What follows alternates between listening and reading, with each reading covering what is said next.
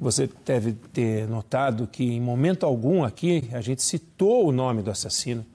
É uma decisão que o Jornal da Band tomou, não dá o nome dele, não mostrar a cara dele.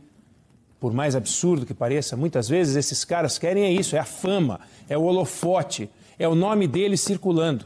Eles gostam desse palco macabro. Aqui no Jornal da Band não.